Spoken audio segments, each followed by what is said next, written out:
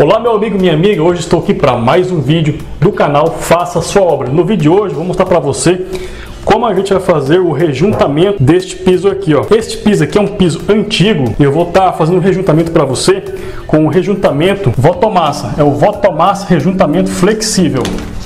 Este rejunte aqui, ó. Este rejuntamento ele é indicado para áreas internas e externas e para pisos cerâmicos e juntas de 2 a 10 milímetros. Aqui é um piso antigo. O que, que a gente fez? A gente removeu todo o rejunte velho, limpamos bem com esponja umedecida para tirar todo o resíduo de pó. Se fosse um piso novo, o que, que eu ia fazer? Nós teríamos que esperar 72 horas para fazer a aplicação do rejunte, até a argamassa secar bem. E teríamos que remover todos os espaçadores. Como aqui é um piso antigo, a gente raspou o rejunte o máximo que pôde, o rejunte velho, limpou todas as frestas, nós batemos um ar aqui e depois passamos uma esponja umedecida. O que, é que você vai precisar para fazer esse rejuntamento? Dos equipamentos de proteção, como você pode observar, eu estou usando aqui o capacete, óculos, luva e também as seguintes ferramentas. Estou aqui com a colher de pedreiro e essa espátula de EVA para nós fazer a aplicação do rejunte. E a espuma para fazer o acabamento final depois do nosso Aqui eu já preparei o rejunte, ó. Você pode ver aqui, ó.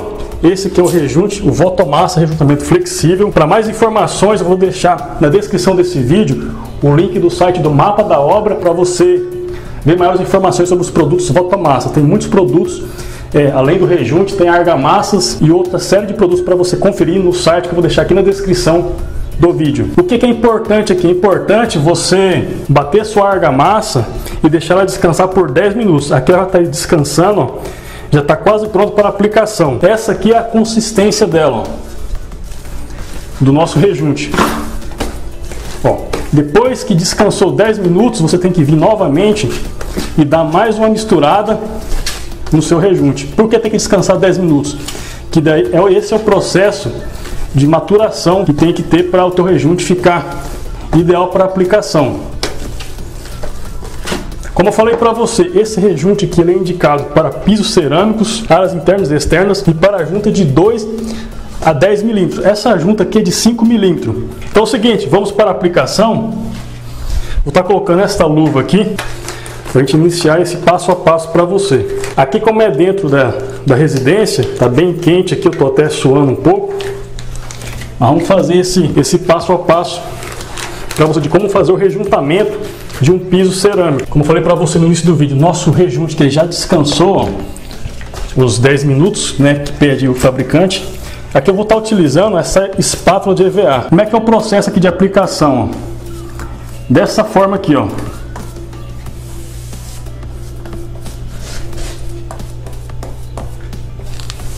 Você vai fazer esse trabalho aqui, ó, em toda, todas as juntas.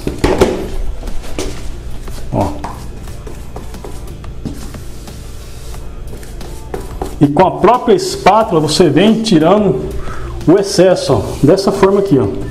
Você vem tirando o excesso e passando nas outras juntas. Ó. Com a própria espátula você vai limpando o excesso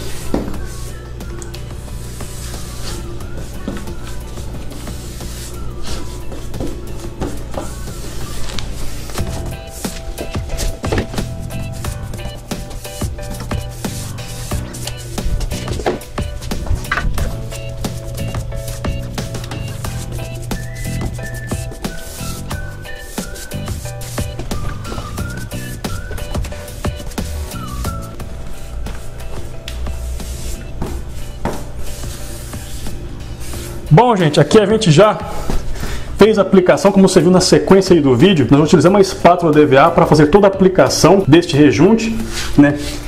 Antes de fazer a aplicação, a gente removeu toda a sujeira, a gente passou uma esponja umedecida antes de fazer o rejuntamento. A gente agora estamos dando um acabamento com essa com esse bloco de espuma. Você vai fazer esse acabamento aqui, ó, com movimentos circulares, para tirar todo o excesso de rejunte, ó. Você pode observar que já vai ficando bem acabado. Eu também utilizo uma buchinha menor, pode ser uma bucha como essa aqui, ó, de lavar louça, para passar dentro aqui da junta, para deixar ela bem lisinha, para que ela fique bem certinha. Você pode ver ó, que elas ficam todas iguais. Você vai vir com um bloco de espuma fazendo movimentos circulares para tirar todo o excesso. Feito isso, o teu piso já está rejuntado. Aí é só aguardar 48 horas para você liberar o tráfego de pessoas. Aqui o processo, para a gente recapitular como foi feito aqui, a gente fez o rejunte. Esse rejunte, a gente tem que bater ele e aguardar ele, deixar ele descansado 10 minutos. Depois que ele descansa, você bate ele novamente para depois fazer a aplicação aqui na base, nas juntas. Ela tem que estar tá bem limpa e seca e umedecida. Você passa um spor como essa em todas as juntas para umedecer da aplicação. Feito isso, você vem com a espátula ou de borracha ou de VA, fazendo movimentos nos sentidos da, é, em diagonal às juntas para você preencher toda a junta. E com a própria desempenadeira você tira o excesso aí de rejunte. Depois que você fez a aplicação, aí você aguarda 15 minutos para você vir fazendo esse processo, né? Dando um acabamento e tirando todo o resto de rejunte em cima da cerâmica. É muito fácil rejuntar, qualquer um pode rejuntar. Eu vou deixar aqui o link na descrição do site Mapa da Obra.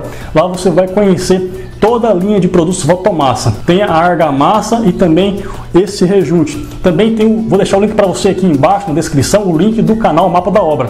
Lá tem vários vídeos também ensinando a fazer a aplicação de todos os produtos aí da Votorantim. Então é isso aí, meu amigo. Fique na paz e até o próximo vídeo. Fui!